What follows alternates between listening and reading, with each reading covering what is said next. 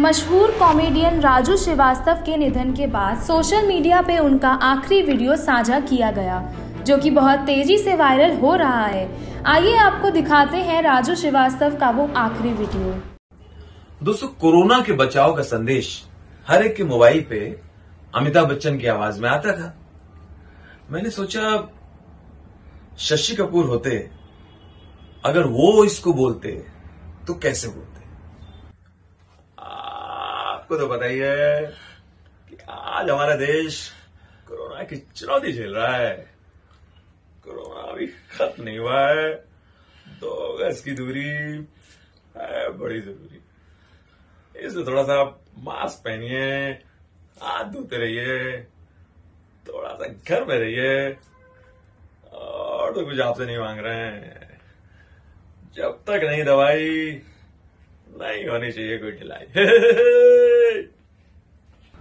दोस्तों अगर इसी को विनोद खन्ना से कहलवाते तो आहा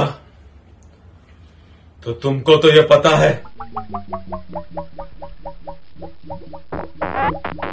राजू श्रीवास्तव के निधन के बाद मशहूर अभिनेता यशपाल शर्मा ने वीडियो जारी कर राजू श्रीवास्तव के परिवार और उनके फैंस को सांत्वना दी।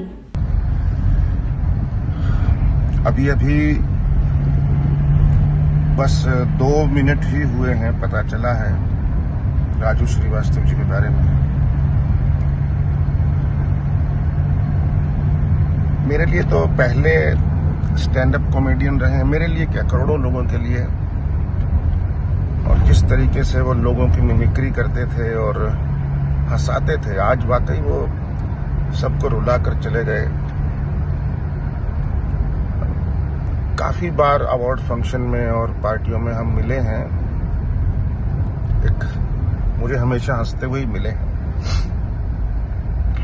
मैं मेरी तरफ़ से बहुत भावभीनी श्रद्धांजलि बस मैं यही कह सकता हूँ। Thank you so much BJP सांसद मनोज तिवारी ने भी राजू श्रीवास्तव के निधन पर प्रतिक्रिया दी है। आइए वो भी सुनते हैं। बहुत ही दुखद समाचार आज हम सबको सुबह सुबह मिला है। दुनिया को हंसाने वाला राजू श्रीवास्तव अपना भाई जन जन का चहेता, एक राष्ट्रवादी व्यक्ति,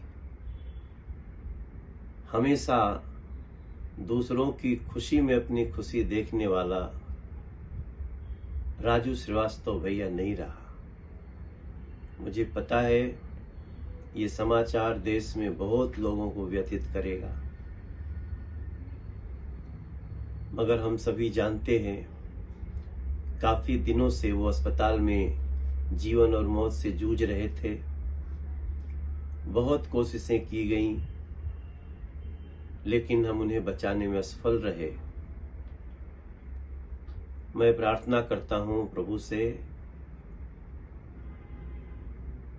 कि राजू भाई को अपने श्री चरणों में स्थान दें और उनके जितने चहेते हैं, उन सभी लोगों को ये दुख बर्दाश्त करने की शक्ति दें।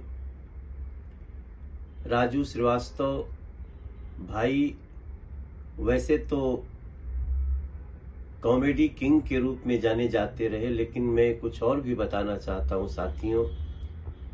राजू भाई से हमारा संबंध और भी तमाम नेता और अभिनेताओं की प्रतिक्रियाएँ सामने आ रही हैं। सभी राजू श्रीवास्तव को श्रद्धांजलि अर्पित कर रहे हैं। फ़िलहाल के लिए बस इतना ही। आगे की सभी अन्य बड़ी खबरों को जानने के लिए देखते रहिए न्यूज़ साइट। धन्यवाद।